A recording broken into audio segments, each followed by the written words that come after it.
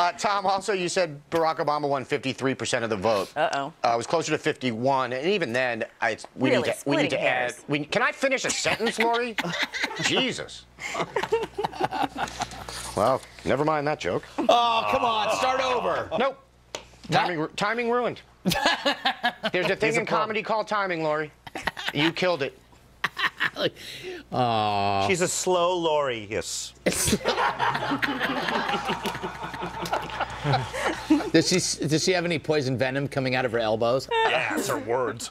Uh, Lori, I will give you some credit. You said you don't think anti-Arab racism was Coca-Cola's intent. That's a pretty bold statement. Why? Why?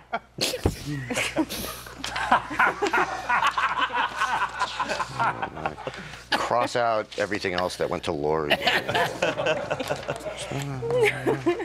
hang on, I'll be right there. Okay, I think I got them all. I mean, really?